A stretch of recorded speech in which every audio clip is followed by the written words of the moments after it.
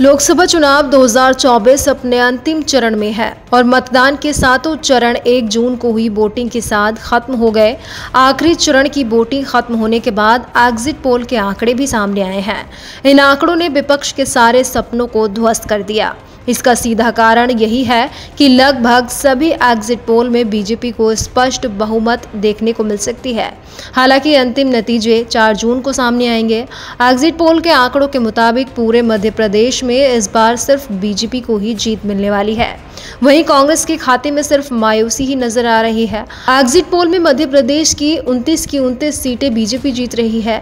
ऐसे में मध्य प्रदेश में कांग्रेस से चुनाव लड़ रहे दिग्गज नेताओं पर भी हार का खतरा। मंडरा रहा है।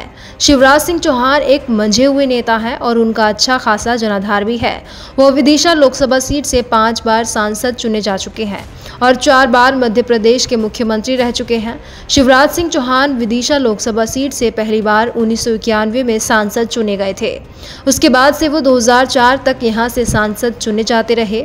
इसके बाद उन्होंने मध्य प्रदेश में मुख्यमंत्री की शपथ ली और बुधनी विधानसभा से चुनाव लड़ा। इस बार के एग्जिट पोल के मुताबिक शिवराज सिंह चौहान पूरे मध्य प्रदेश में सबसे बड़ी जीत दर्ज कर सकते हैं। एग्जिट पोल के नतीजों के मुताबिक वोट शेयर बीजेपी को तेरासी दशमलव तीन नौ प्रतिशत जा रहा है, जबकि कांग्रेस के खाते में सिर्फ़ बारह दशमलव सात चार प्रतिशत वोट शेयर है। शिवराज सिंह चौहान के सामने कांग्रेस ने 33 साल बाद दादा प्रताप भानु शर्मा को मैदान में उतारा है। वो विदिशा लोकसभा सीट से एक बार पहले भी सांसद रह चुके हैं।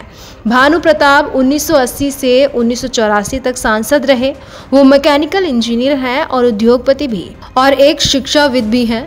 प्रताप भानु अपने राजनीतिक करियर के साथ साथ कई समाज सेवा के कार्यक्रमों से जुड़े रहते हैं। प्रताप भानु, शर्मा, अटल बिहारी वाजपेयी के खिलाफ चुनाव लड़ चुके हैं।